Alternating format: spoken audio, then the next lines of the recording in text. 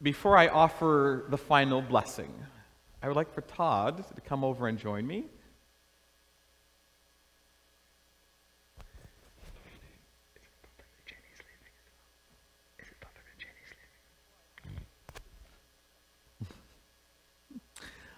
On the behalf of the people of the Diocese of Missouri, I offer my sincerest and most profound thanks for your ministry here with the people of grace.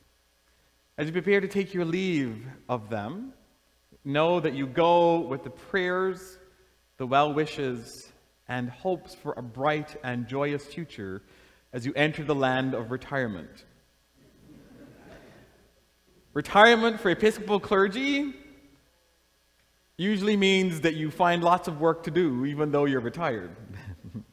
but my prayer for you is that you will take some time for the renewal and resting of your soul before you jump into something new.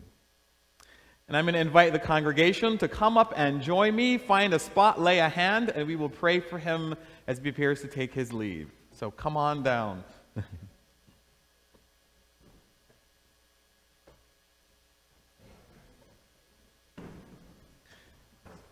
And Jenny will also be leaving us at the end of August to enjoy grandparenthood, among other things. So I invite you to lay a hand on her as we give thanks for her ministry here at Grace as well.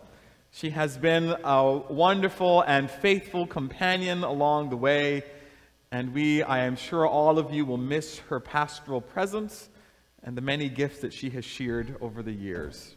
So we are grateful for your ministry as well. Let us pray. If you, if you can't touch Todd or Ginny, feel free to touch somebody in front of you so that the, the, the, the network will keep going. let this, as Canon Whitney said, let the chain not be unbroken. Let us pray.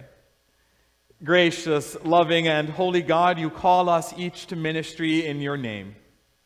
Grant that Todd and Ginny, as they prepare for a new journey, a new adventure, that they may be surrounded and steeped in your Holy Spirit, that in the new paths that they may forge, in the new adventures that they may venture, in the new places of ministry that you will call them, that they may be surrounded and infused by your Holy Spirit, the advocate, giving them all things necessary for the work ahead of them.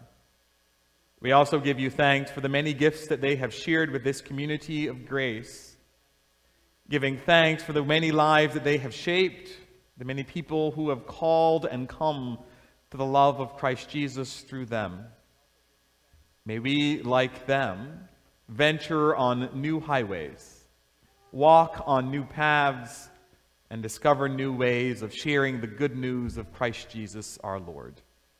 And may God's blessing, may God's grace, may God's peace rest upon them both, now and always. Amen. Amen. Stay, right, stay where you are.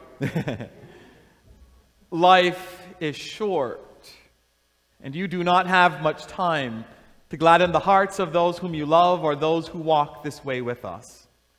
So be swift to love, make haste to be kind and may the divine mystery that is beyond our ability to fully know be your companion along every way.